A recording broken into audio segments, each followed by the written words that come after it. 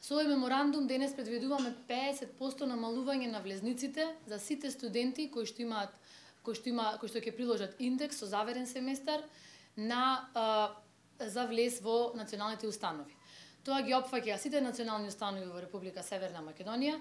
и се надевам дека со ваквата мерка или дека со подпишувањето на меморандум и неговото стапување во сила